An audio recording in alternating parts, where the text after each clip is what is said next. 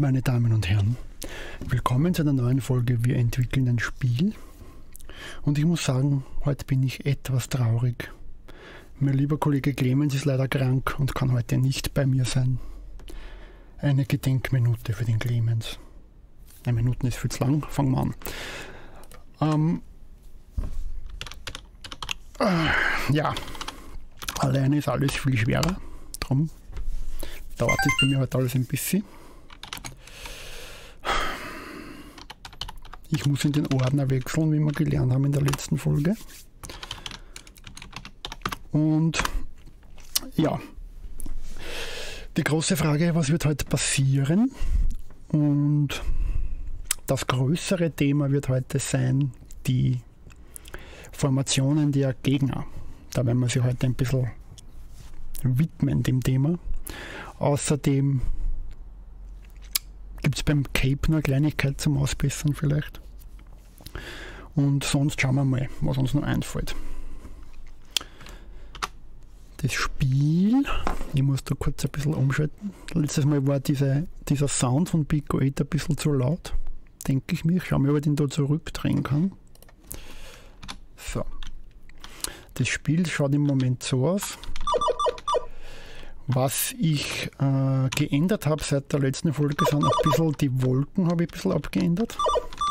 Und unten die Wiese. Das ist noch immer nicht das perfekte Ergebnis, aber so ein schönerer Platzhalter, würde mir meinen. Und heute wollen wir uns, wie gesagt, schon den Formationen widmen. Und was ich vorher noch kurz machen will, was ich eh schon erwähnt habe, ist beim Cape müssen wir noch eine Kleinigkeit machen und einen Codebug habe ich noch letztes Mal gefunden, den ich aber jetzt hier in der neuen Episode ausbessern wollte und nicht hinterrücks einfach ohne das äh, Zutun der User oder ohne dass die User mitverfolgen können, dass da ein Bug war, das einfach ausbessern. Und zwar haben wir ja für das Cape so Paletten umge umgeschrieben, Palettenfarben umgeschrieben und die Transparenz äh, für gewisse Farben ein- und ausgeschalten. Genau, und da habe ich schon notiert. Und nachdem wir den Sprite von dem ASCII gezeichnet haben, setzen wir die Palette zwar auf den Default-Wert zurück, aber wir haben vergessen natürlich die Transparenz auf den Default zurückzusetzen und das werden wir da jetzt nachholen. Fertig. Ja, also mit PAL-T ohne Argumente übergeben wird die Transparenz aller Pixel auf den Default-Wert gesetzt. Das heißt, schwarz ist wieder transparent als einzige Farbe und alle anderen Farben sind opak. Ähm, ja. Schauen wir gleich mal.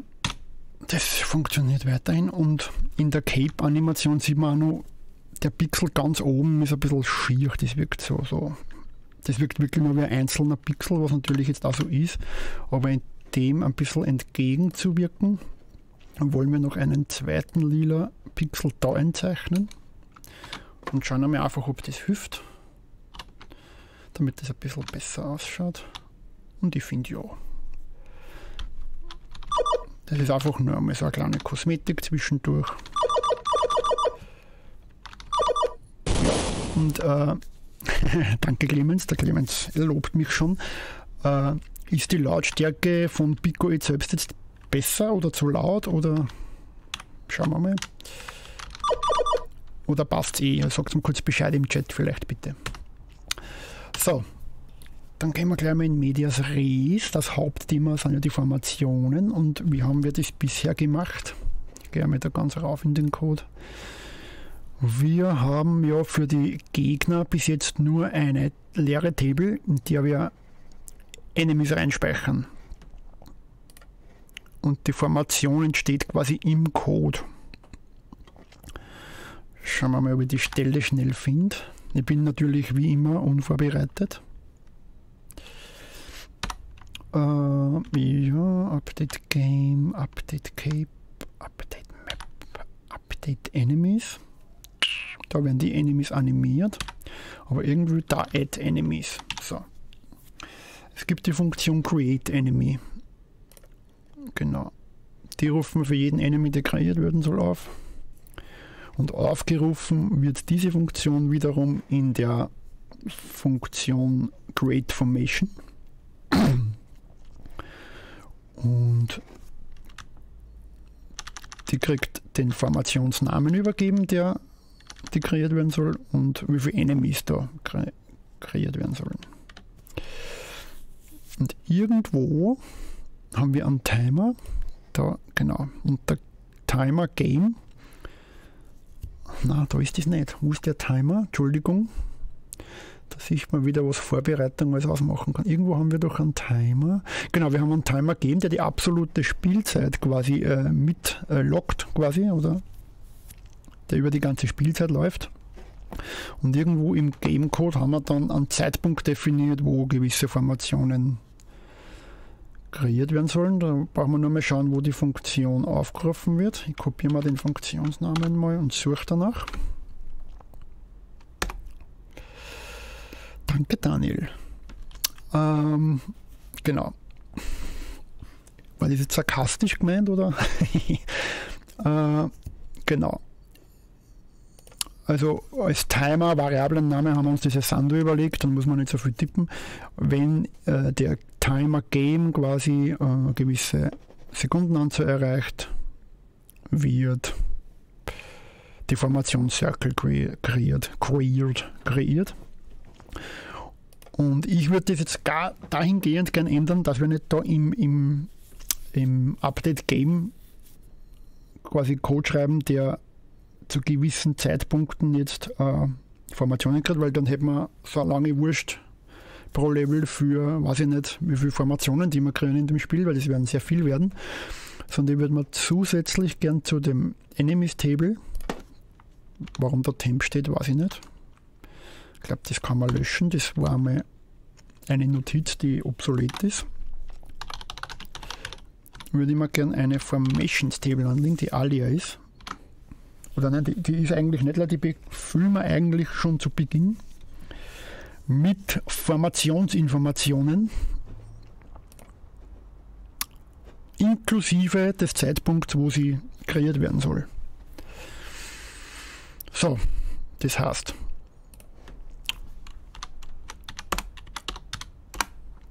wenn wir das so bauen wollen, dass wir diese Formation, die wir da initial schon ausprogrammiert haben, äh, nachstellen wollen, haben wir bei Sekunde 3 eine Circle-Formation zu kreieren mit sechs Enemies. Und da erweist sich mir schon das erste Problem. Wir haben in dem Game Timer drei Werte, Minute, Sekunde und Frame. Und ich würde aber gern diesen Zeitpunkt des Kreierens in einem in einer Zeichenkette, sagen wir so, in einer Zeichenkette angeben können und nicht drei Werte setzen müssen. Das heißt, wir werden uns in dem Timer Game, äh, wie werden wir das machen? Wir werden uns äh, quasi diesen, diese Game Time, Minuten, Sekunden, Frame, werden wir uns auch als äh, String ausgeben lassen. Einfach Minuten, Sekunden, Frame aneinander gekettet. Somit können wir das schön in einem angeben in unserer Table für die Formationen und das dann vergleichen.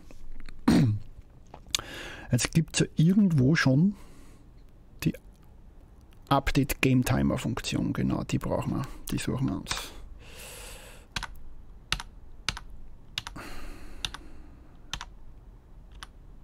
Und ich finde es natürlich nicht.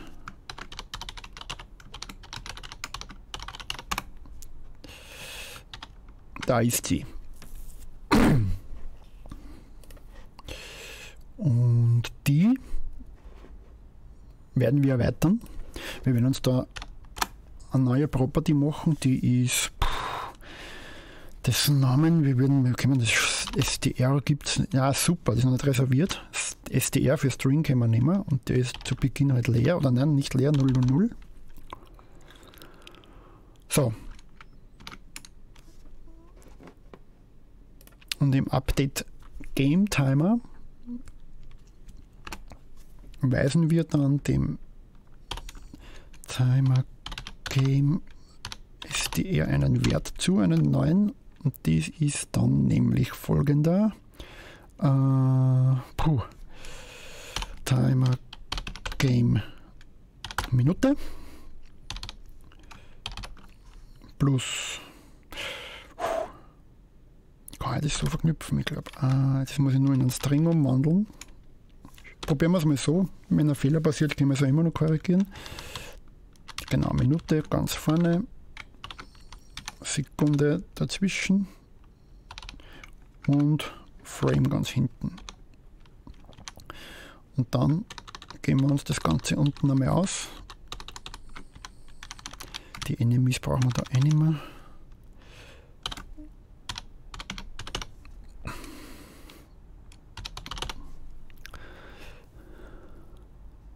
Was meinst du, Clemens? Ich muss da, wenn ich allein bin, muss ich gleichzeitig programmieren und Chat lesen, darum kann es jetzt ein bisschen zu Idle Times kommen im Bitcoin Editor. Ich glaube, wir haben überlegt, dass wir Enemies irgendwann anders zu lösen. Ja, stimmt. Äh, ich würde es nur trotzdem jetzt gern machen, weil, mm, ja, damit es passiert ist einfach. Ich weiß auch nicht genau, was du jetzt meinst. Aber ja. Du wirst mir es gleich sagen, nehme ich an, Clemens. Äh, okay, jetzt gehen wir uns einmal probehalber aus, was da drin steht. Genau. Das funktioniert eigentlich ganz gut. Also bei den beiden Ausgaben oben, da in der zweiten Zeile, da sieht man ganz gut, wie das dann ausschaut. Es können maximal sechs Stellen entstehen. Außer die Minuten werden immens lang, aber das glaube ich nicht. Und die können wir auch noch cappen, wenn das ein Problem wird. Die letzten zwei Stellen sind dann, naja, mit dem Null ist das ein bisschen ein Problem vielleicht. Aber wir werden das schon irgendwie lösen.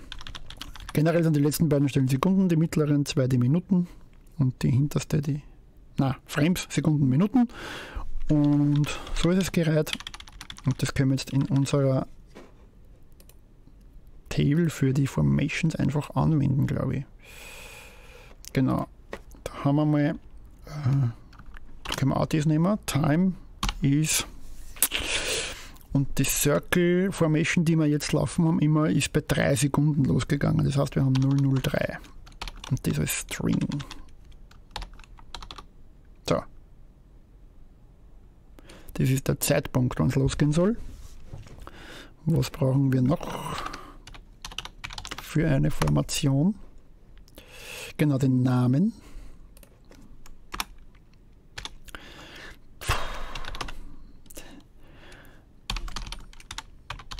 In dem Fall Circle. Beistrich darf man nicht vergessen.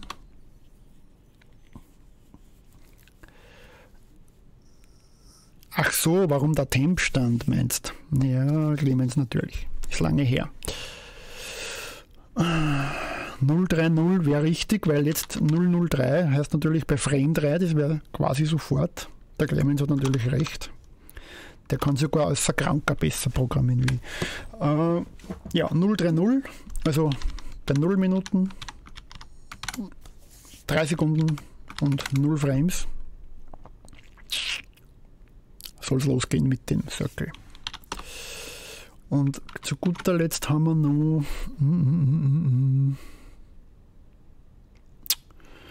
Mm, mm, mm, Das muss ich wieder finden, wo ich das aufrufe schnell, weil das ist ja eigentlich schon die ausführende Funktion.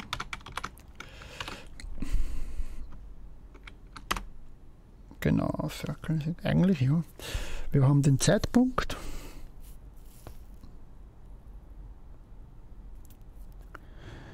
Genau, das ist super. Und jetzt können wir den Code eigentlich ersetzen mit einem Funktionsaufruf, den wir bei jedem Frame machen, der einfach diesen äh, String aus dem Timer sich holt und mit dem konfigurierten String aus den Formations äh, vergleicht. Und wenn es ein Match gibt, kreieren wir die Formation. Natürlich nicht für alle Formationen, sondern immer nur für die erste Formation in der Table. Sobald sobald die kreiert ist, werden wir dann die Formation aus dem Index löschen und aus. Ist einmal die Theorie. Schauen wir mal, wie das in der Praxis ausschauen könnte. Ich kommentiere mir das einmal aus.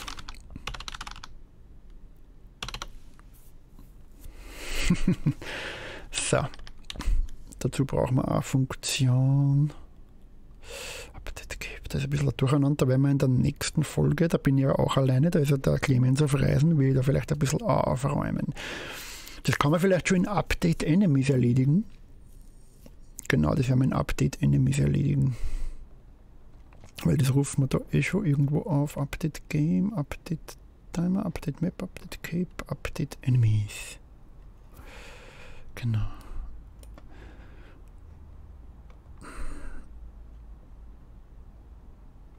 Wo ist es jetzt nochmal? Da. So. Bevor wir die Enemies durchgehen, schauen wir, ob wir das Table quasi erweitern müssen. Na, Blödsinn. Das müssen wir generell umschreiben. Update Enemies, na, das ist eigentlich ein Blödsinn. Wir müssen die Create Enemies. Ich mache es lieber in einer eigenen Funktion, dann muss ich da nichts angreifen, dann kann nichts kaputt werden. Watch Formations.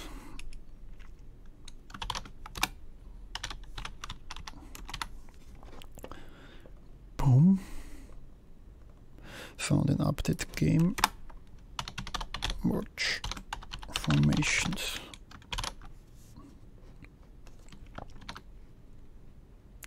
So, Was uns noch fehlt für eine Info natürlich ist, wie viele äh, Enemies. Na, E-Count brauchen wir nicht. Count ist 6. da habe ich mich wieder vertippt, Clemens. Ach, ist das schön.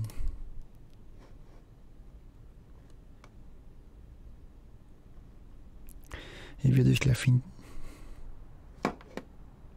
Watch, Vorrahmen, ja,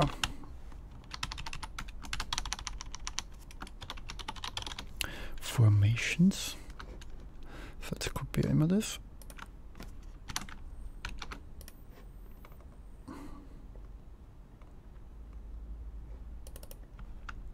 Boom.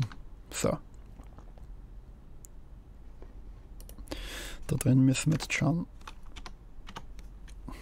If wenn in der Table Formations die Formation, sie vergiss alles. Die 3-Sekunden-Regel wird da wieder angewandt. Alles, was länger als 3 Sekunden her ist, vergiss ich.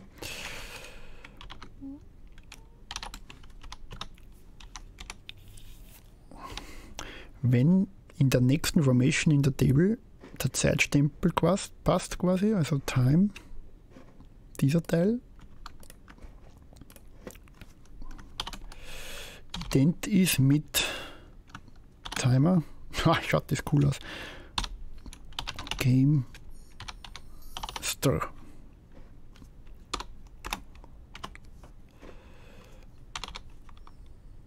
So, also wenn dieser Zeitstempel übereinstimmt mit diesem Zeitstempel, dann ich die Formation. Und natürlich habe ich dann nur einen schwerwiegenden Fehler gemacht, weil ich jetzt einfach in die Table Formations drei Werte reingeschrieben. Aber natürlich ist das eine Liste von Formations, das heißt wieder Tables in Tables, darum müssen wir das so schreiben. Und die duplizieren wir gleich, weil wenn das zweite Circle mit nur vier Enemies bei Sekunde 8. So. Speichere die mal. Der berühmte Beistrich, den ich immer vergesse, darf ich auch nicht vergessen. Den Der Daniel hat es gesehen, naja. Stimmt, ich habe mich in der Zeile geirrt. Tut mir leid. Daniel, danke. so, also wenn das passiert, dann rufen wir eigentlich Create Formation auf. Und übergeben. Wo haben wir Create Formation? Das wäre super. Ah, Create Enemy. Create Formation, das ist da oben. Als ersten Parameter müssen wir den Namen übergeben. Entschuldigung, dass ich so wild hin und her scroll. Ist eigentlich gar nicht so gut für euch. Gell? Name, Amount, genau. Eigentlich eh ganz easy. Create Formation. Äh, speichert man da in einer lokalen Variable.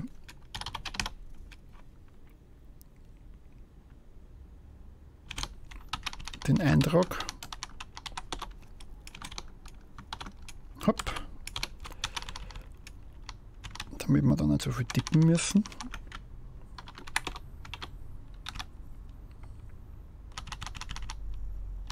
So,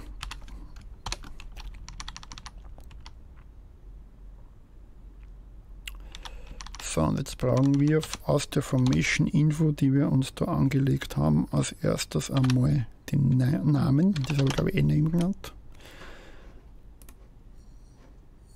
Name und den Count als Amount quasi.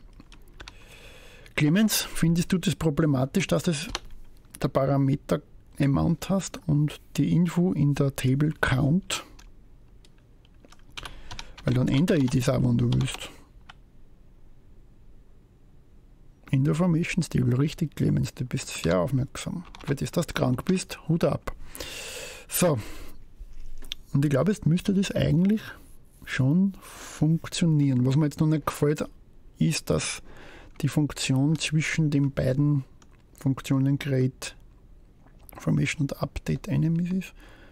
Aber eigentlich ist es wurscht. So sauber ist der Code ist eh nicht organisiert, dass wir uns da jetzt instantly Gedanken machen müssen. So, probieren wir es einfach einmal aus und wir haben schon mal einen Fehler. Ja. Habe ich mich schon wieder vertippt? Na. Expected Near ist gleich. Was? Ah, ich habe keinen variablen Namen vergeben. Den muss er, ich habe einen kompletten Topfen hingeschrieben. So gehört es. Ein ist gleich zu viel.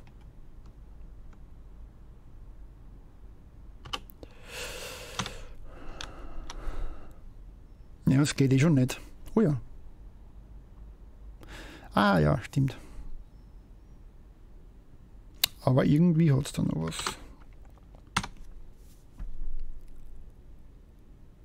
Bei 3 kommen welche rein.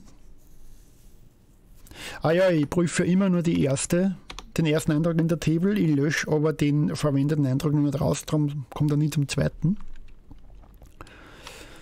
Das heißt, wenn wir da eh in keiner Schleifen durchgehen, können wir einfach sagen del formations f.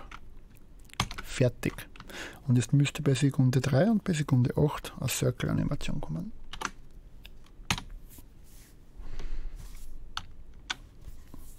Genau. Und das kleine nochmal 4. Und wir haben einen Fehler. If Nein. Attempt to index local f in nil value. Muss ich den neu zuweisen oder was will der von mir? Hm.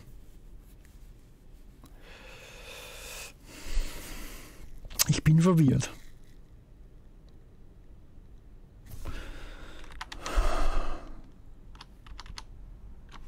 Was kann das sein? Weil eigentlich wieder die Funktion bei in jedem Frame aufgerufen. Das heißt, die Variable muss ja auch neu zugewiesen werden. Aber ich lösche sie und im nächsten Frame wird es aber neu zugewiesen. Darum verstehe ich gerade nicht.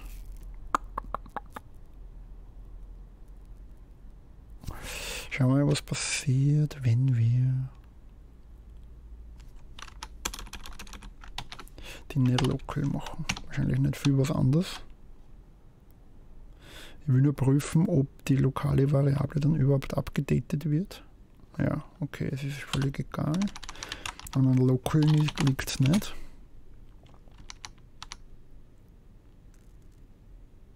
Was tut der? sicherheitshalber könnte ich jetzt hergehen und nicht F löschen. Vielleicht ist das das Problem. Sondern Ilish Formations 1. Aber es sollte eigentlich egal sein. Es sollte eigentlich egal sein.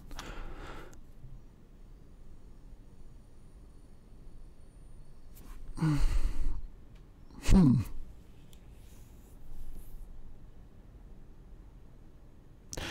Ja, Daniel, stimmt, auf leere Table prüfen ist natürlich immer eine gute Idee. Das erklärt aber noch immer nicht mein Problem. Aber wir können einmal die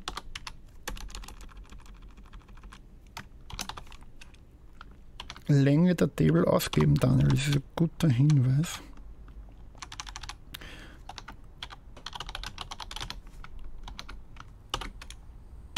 So, zwei Einträge.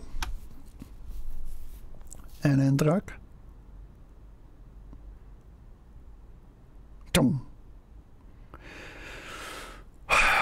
Nil. Warum ist F Nil?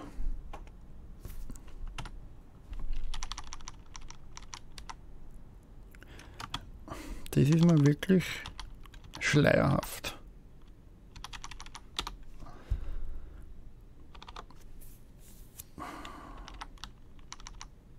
Hm. Das kann man aber schon eingefügt. Du meinst in der Table, gell, Clemens? Ja, habe ich, ja. Habe ich schön. Damit ich den Daniel ein bisschen ärgern kann, mache ich da auch ein Komma. so. Das machen wir schon bei 6, dann müssen wir nicht mehr so lange warten. 1 passiert die Table, das heißt, puh. Die Table hat einen Eintrag. Und vielleicht sollte ich nicht die Formation rauslöschen, sondern den Index quasi erhöhen.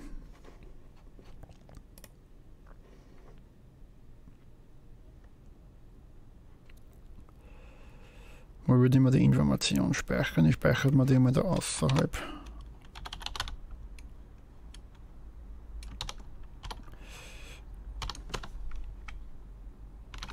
So.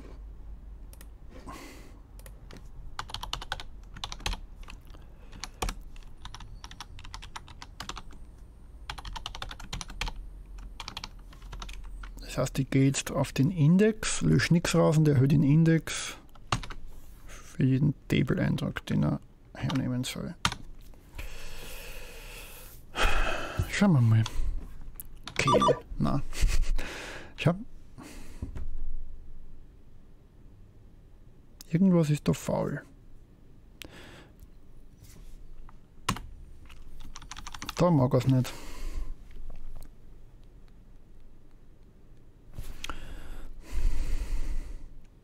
Hat die irgendeinen Syntaxfehler vielleicht? Nein. Ein Time hat Name hat und ein Count hat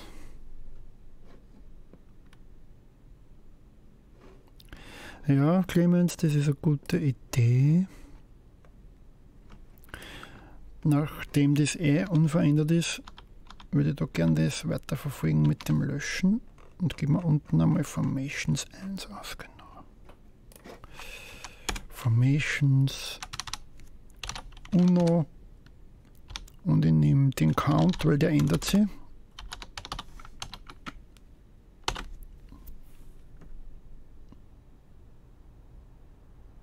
Ja, Clemens, mache ich gleich. Genau, erste Formation hat sechs Einträge, die zweite hat vier. Aber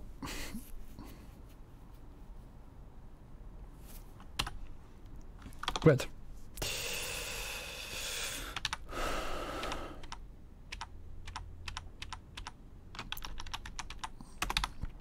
If Formations, die Anzahl an Formations ist 0. Return. Führen wir den Rest der Funktion nicht aus. Jetzt sehen wir, ich, dass der Grund ist vielleicht, weil, wenn es jetzt leer wird, müsste eigentlich ausstehen, aber ja, ist, sie ist nicht leer. Attempt to Index Field Fragezeichen.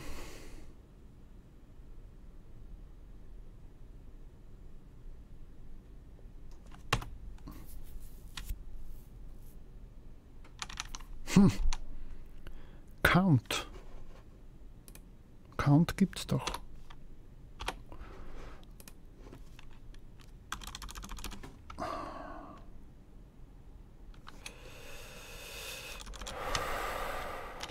Das ist echt peinlich.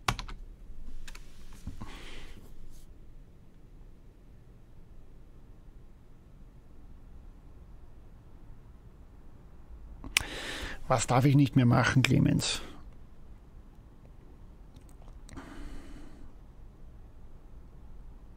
Also printen ich an. Ja, ist klar.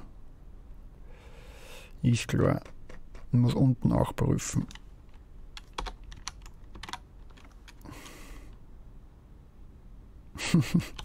ja, Clemens, stimmt. Darum überleg dir das nächste Mal vorher, ob du krank wirst. Ja.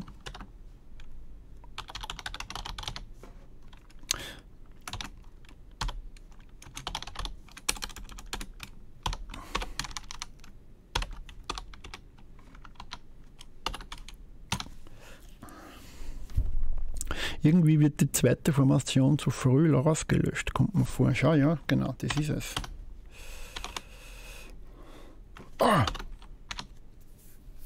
Das war das Problem. Ha! Er macht eh richtig. Nur das Print-Statement unten war das Problem und darum hat das Programm abgebrochen und darum hatten wir den Bug gelöst. Danke, Clemens nehme Aspirin und darfst Aspirin nehmen, quasi so als Belohnung für die Mitarbeit. Äh, so, das schaut ein bisschen chaotisch aus, das kann man so nicht wirklich. Ich lasse das dabei drinnen. So. Linear haben wir ja auch schon gehabt als Formation. Gell? Oder haben wir das Line genannt? Da muss ich jetzt im Code schon nachschauen. Wave, Linear Wave und Circle haben wir gehabt. Na bitte. äh, Linear Wave und Circle. Ja, die werden wir gleich alle drei testen. Das heißt, wir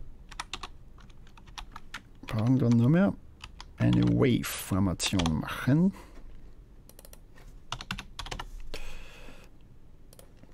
Und so kann man dann schön Levels anlegen. Also wir werden dann später nur mehr Interaktion einführen, wo wir sehr Table für Levels anlegen und die werden dann wieder Formationen beinhalten. Das heißt, bei den Formations wird hinten nur eine Level-Information mitgespeichert werden, damit man weiß, braucht man das überhaupt nicht. Vielleicht geht das auch mit der Reihenfolge, aber das werden wir sehen. Oder man speichert es halt mit, je nachdem. Äh, was ich jetzt nur machen will, ist äh, die X- und Y-Position, wo die Formation starten soll. Wobei ich nicht weiß, ob die X-Position notwendig sein wird, aber Y auf alle Fälle. Weil derzeit ist ja das auch hart codiert. Mhm. In Great Formation. Und das können wir eigentlich noch umschreiben, oder? Nehmen wir. Nein, können wir nicht. Name, Amount, genau. Und da wird noch mitkommen, Nein, wird das überhaupt umbauen. Haha. Die Funktion wird nicht mehr Name und Amount übergeben werden, sondern die Formation selber.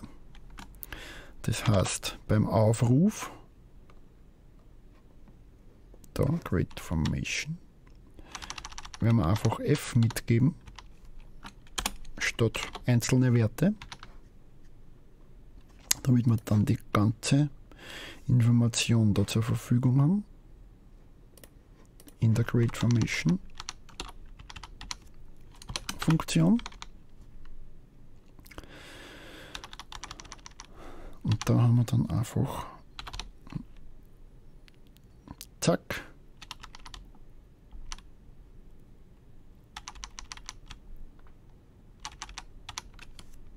Im Chat geht es rund, sich gerade aus dem Morgenwinkel. Was man sich noch überlegen kann, ist Bewegungsformen von der Anordnung der Gegner zu trennen. Ja, das, das wollte ich als nächstes ansprechen, das ich aber wahrscheinlich nicht heute machen. Ich erkläre dann kurz, was da gemeint ist, oder ich erkläre es gleich. Derzeit vermischen wir mit dem Begriff Linear Wave oder Circle einerseits die Art der Formation, also wie die Formation ausschaut, und wie sie sich bewegt, kann man sagen. Das vermischen wir jetzt. Und das wollen wir nun in getrennte Informationen trennen.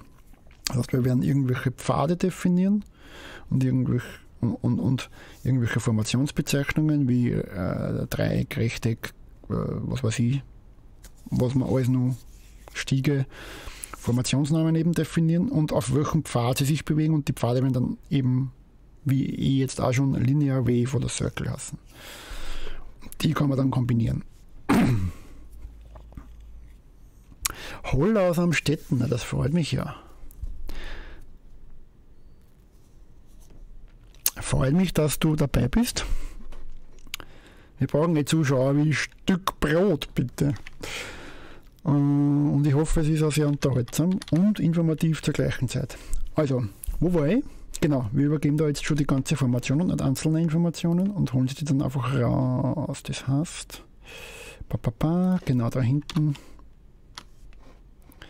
brauchen wir dann noch überall Formation Name. Weil dann können wir y die Y-Position, wo die Formation starten soll, auch noch reinholen in die Formationsinformationen, brauchen die dann nicht hart codieren.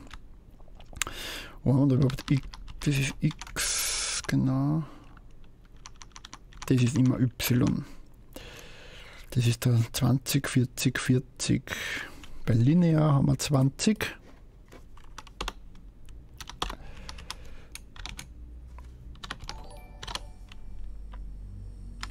ein bisschen Platz sparen.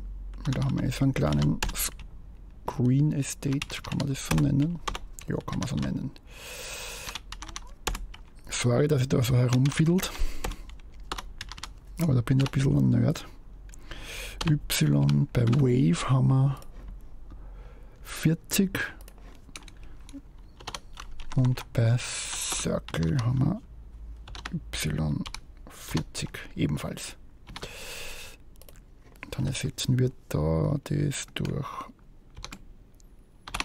Formation.y Formation.y Formation.y und jetzt ist die Frage, brauche ich diese else if überhaupt noch? Ich probiere es einmal so aus, ob es einmal überhaupt funktioniert mit den Änderungen. Natürlich nicht. Limit must be a number in der For. Puh, jetzt habe ich irgendeinen Topfendraht. For is 1 Amount. Ja, natürlich. Das kann jetzt nicht mehr Amount hassen, sondern muss f. Count hassen.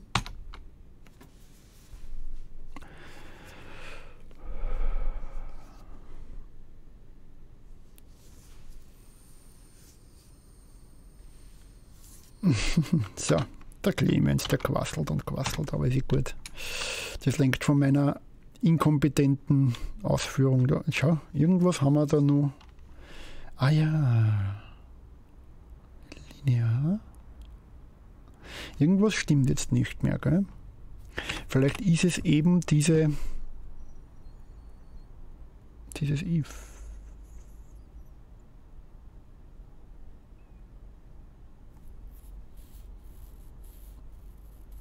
Hm, ich bin kurz etwas verwirrt.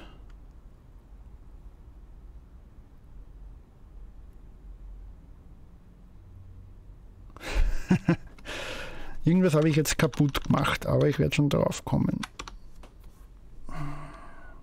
Haben wir da äh, Circle? Ja, natürlich. F-Name habe ich nur da ausgebessert. Aber nicht bei den anderen zwei Ifs. So, schauen wir mal, ob es jetzt besser geht. Jawohl, da haben wir den ersten Kreis. Jetzt haben wir das Lineare. Oh, die erwische ich noch. Nein! Epic Fail und die Wave.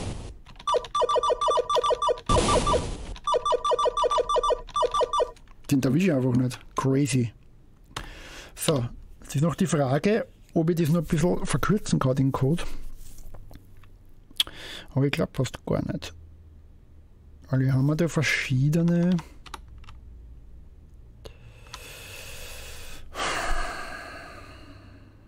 verschiedene Berechnungen für die Bewegung drinnen. Ich glaube, das werden wir erst dann angreifen, wenn wir Pfade und Formationen trennen. Aber das hilft uns schon einen Haufen weiter. Jetzt können wir da Formationen anlegen, bis uns schlecht wird, ohne dass wir mehr Code schreiben müssen, wirklich. Also Logik. Solange wir keine neuen äh, Varianten kreieren. Ich lege noch ein paar an, damit wir da ein bisschen mehr Spaß haben beim Testen in Zukunft. Die ersten drei wir eh schon, da machen wir jetzt 8 und die lassen wir bei 90 beginnen und da machen wir gar 12, hoppala. Die lassen wir bei 60 beginnen und da machen wir zwei lächerliche und die lassen wir bei 75 beginnen. Da machen wir linear, linear. So. Schauen wir mal. Sechs Formationen. Das ist die erste.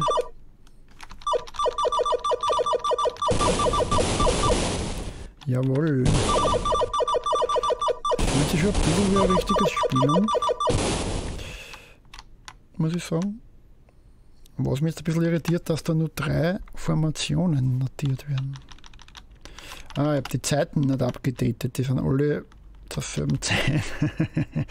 so, 3, 6, 9 Sekunden, da machen wir 12 Sekunden.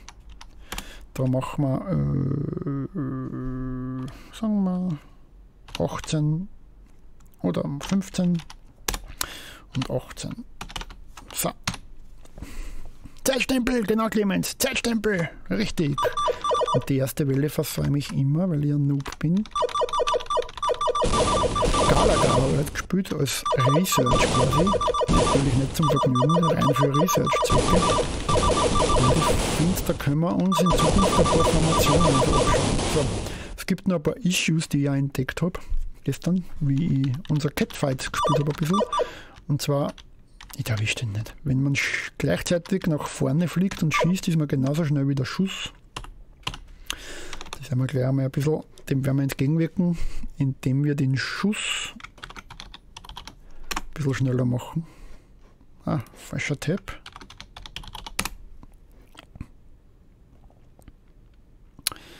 Ja, ja, ja, ja, ja, ja. Wo ist denn die Speed von dem Schuss? Shot X, Y, W ist die Breite. Uh, das ist gar nicht beim Schuss gespeichert, die Speed. Das könnte man vielleicht auch gleich machen. Schauen wir mal, wo wir denn Check Shot, da haben wir schon. Plus ist 1. Ich würde sogar mal so weit gehen und das auf 2 erhöhen. Ja, ist ja gleich viel besser. Fühlt sich schon besser. Genau. Ah, keine Collision Detection zwischen äh, ASCII, das ist übrigens für die 90 Zuseher der Name der Katze, die man steuert. Und gleichzeitig im echten Leben die Katze eines Webredakteurs von uns ja. Also es fehlt nur die Collision Detection zwischen ASCII und Gegnern. Und äh, da würde ich gerne noch äh, sagen, muss ich sagen, würde ich nur gerne die Geschwindigkeit des Schusses in der Table mitspeichern und nicht da hart codiert haben.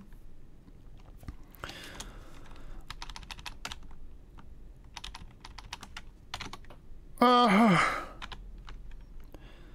habe ich mich mit dem Shortcut ein bisschen vertan. Sorry, falls wer mit einem epileptischen Anfall am Boden liegt. ASCII Schutz i. Speed. Und bei den Daten für den Shot, den wir immer hinzufügen, haben wir noch Speed-Variable. Und die sind die mal zwei vorerst. Genau.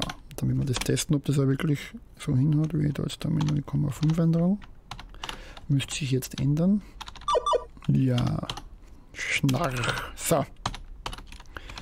Hätten wir das auch erledigt, weil das ist schon die Vorarbeit dafür, dass wir dann für verschiedene Power-Ups und Schusstypen quasi verschiedene Geschwindigkeiten und so weiter konfigurieren können. So, ein bisschen optimieren. Checkshots.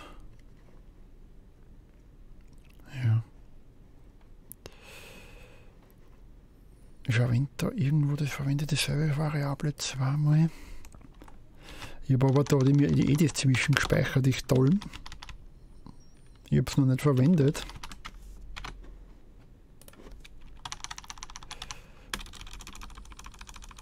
Das heißt, Shot X plus ist Shot Speed. Boom! So schnell geht das bei uns.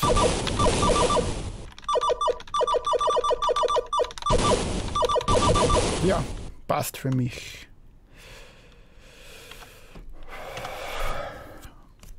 So, zu guter Letzt werden wir nur schauen, ob wir die Collision Detection zwischen ASCII und Enemy hinkriegen. Ah, Andreas, hallo, ja, sehr gut. Danke, das freut mich, dass der ASCII da das mitverfolgt. Und zwar, irgendwo haben wir ja Update-Enemies, genau. Und da schauen wir ja genau, ob da irgendwas passiert. Das ist die Frage. Genau, was prüfen wir da alles? Wir prüfen, ah ja, wir prüfen da noch die Formationen, da müssen wir auch noch ein bisschen refaktorieren vielleicht. Genau. Da haben wir eigentlich die komplizierten Berechnungen. Aber dazu ist Gelegenheit in der nächsten Folge. Ich will zusätzlich prüfen if. Und ich nehme mal an, das, an das QE gibt uns den aktuellen Enemy, den wir prüfen. Genau.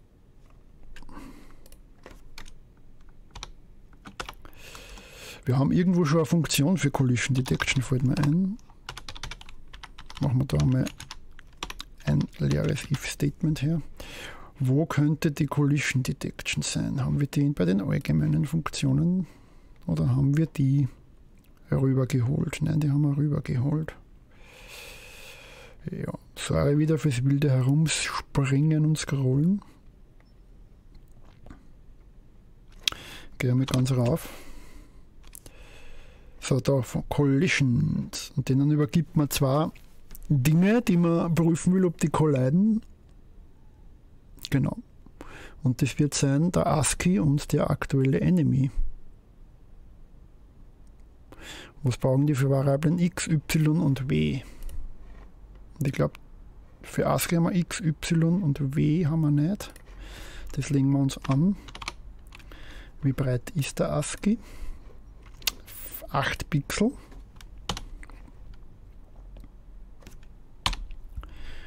Bei den Enemies haben wir es, glaube ich, schon drin.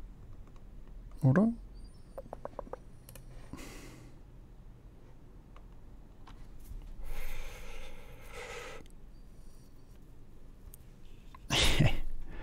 so. Mm. Ich probiere da eher nicht zu schnell zu scrollen, damit den Leuten zu Hause nicht schlecht wird. Enemy hat ein W, genau, super. Das heißt,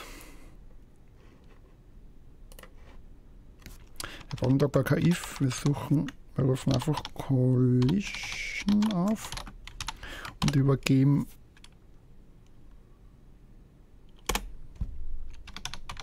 ASCII, äh, ASCII als ersten Parameter und dem aktuellen Enemy als zweiten Parameter und die zwei sollen sie das einfach ausmachen. Jetzt muss ich nur schauen, wie haben wir denn das? Genau, das gibt True oder False zurück. Wir brauchen doch ein If. Mann, ist das lang her. Und wenn eine Collision stattfindet, was machen wir dann, damit wir damit testen können? Wir, naja, wir löschen den Enemy einmal raus.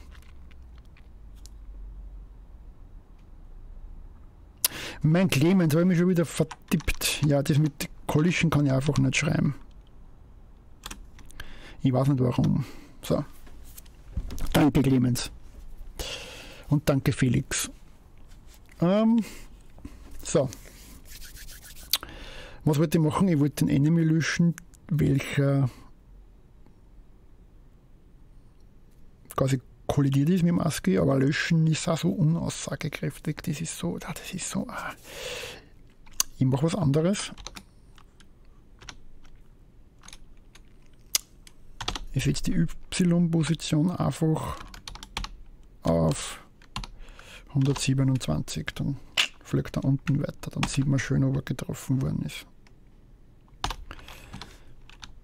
Einfach einmal ein bisschen komisch was testen. Das machen gut, machen es eh alle anderen. Ah! Verschwinden dann schon. Also die verschwinden vielleicht hinter der Map jetzt. Das ist auch nicht so gut. Dann machen wir plus ist 10.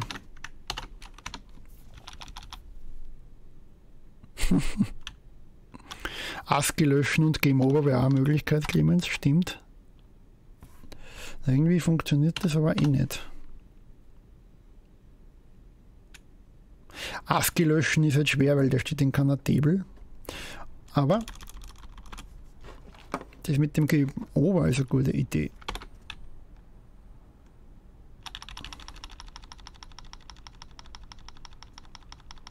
Haben wir schon irgendwo den Game State? Wie machen wir das mit dem Game State, mit dem Start Screen und so weiter? Wir setzen da das auf Start und im Start Screen. Mhm. Das heißt, wir machen Premiere, nicht Premiere. Oh ja, Premiere für einen Game Over Screen, sicher. Wir machen unseren neuen Tab für einen Game Over Screen. Da brauchen wir zunächst, den machen wir da ganz simpel, eine Update Cover. Brauchen wir die überhaupt? Function sollte man einschreiben. Ja, ist ja wurscht. Function Draw Cover End.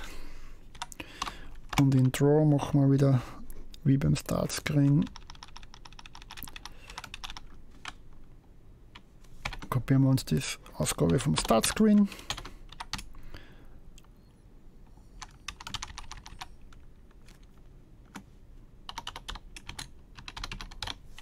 So.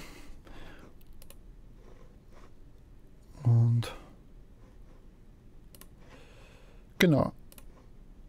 Und wenn man X drückt, das kopieren wir auch.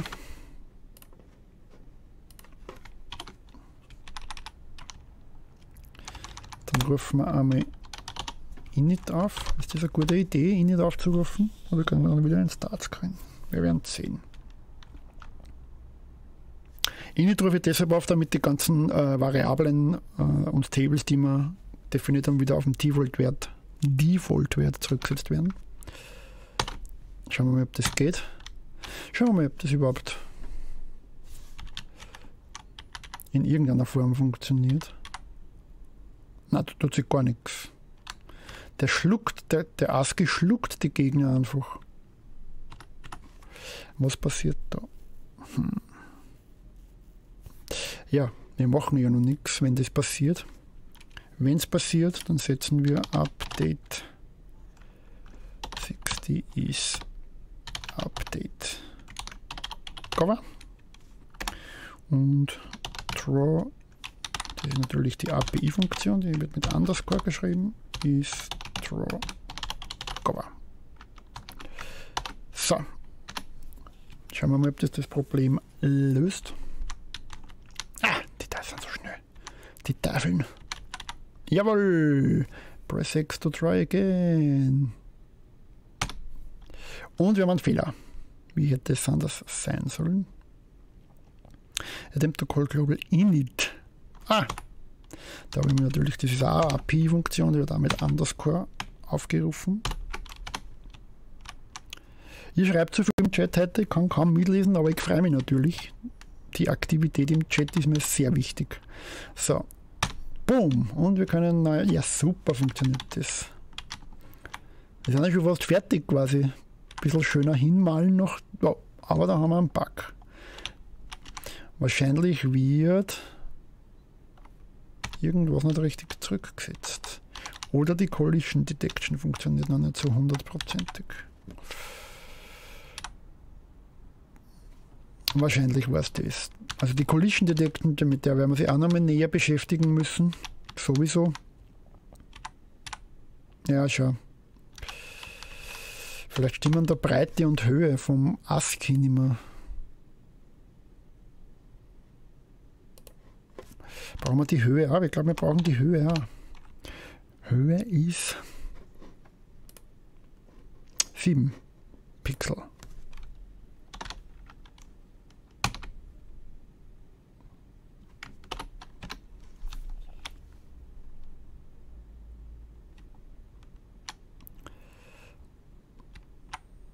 Na, irgendwas, irgendwas ist da faul. Aber ich glaube, das ist was für die nächste Episode, weil das wir jetzt in die drei Minuten, die wir noch haben, nicht lösen können. Schon gar nicht. Schau. Ich glaube, das passiert nur in der ersten Formation. Nein, in der zweiten, sorry.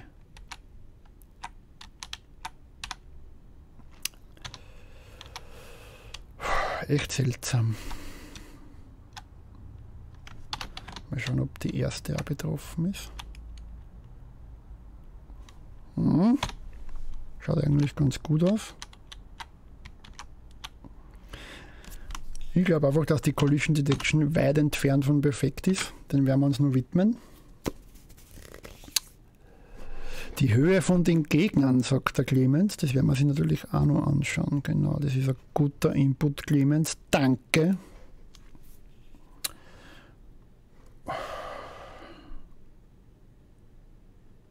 Schauen wir in Create Enemy, da haben wir eigentlich eine Höhe.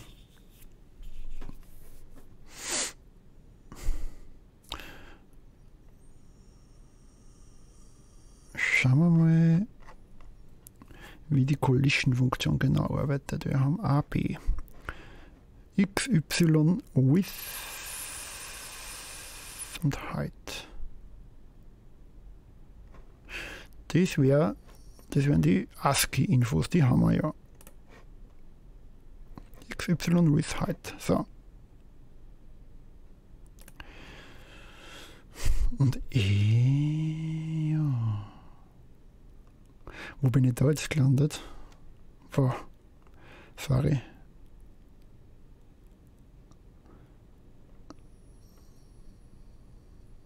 Jetzt habe ich da den Faden verloren kurz. Der ist irgendwie weggekupft von meiner Collision. So. Okay, ASCII ist einmal gecovert, da haben wir alles. Und B braucht X, W, Y, Y, H. Ja. Eigentlich alles da. Vielleicht müssen wir als ersten Parameter den Enemy und als zweiten den ASCII übergeben. Das kann natürlich auch sein. Ich glaube nämlich, dass das relevant sein kann. Das probiere ich nur aus.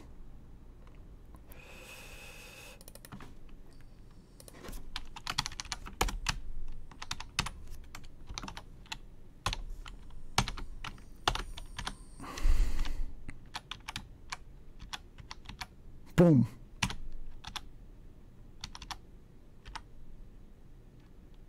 Der Test ist nicht genau genug, Clemens. Ja, ist sicher so. Also ich glaube auch, dass wir da noch ein paar eine Handvoll Episoden in die Collision Detection immer wieder investieren müssen. Natürlich nicht nacheinander. sondern immer wieder ein bisschen refinen sozusagen. So, jetzt probiere ich nur die dritte Formation abzuwarten. Weil das ist ja, wie, wie wir eh damals schon erwähnt haben, sehr rudimentäre Collision Detection, aber ja, schauen wir mal.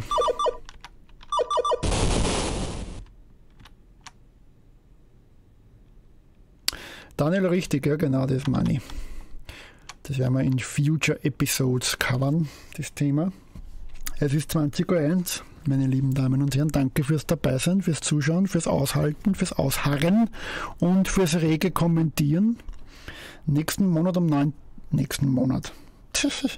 Nächsten Montag um 19 Uhr geht es weiter. Wieder ohne Clemens, der ja sich einbildet, verreisen zu müssen. Ja, also bleibt mir nur mehr eins zu sagen: Schlaft gut, träumt süß. Und ich habe vergessen, das Outro zu laden, darum muss ich mit dem letzten Satz noch warten. Speichern da ja noch. das ist halt nach hinten losgegangen. also, schlaft gut, träumt süß von sauren Gurken.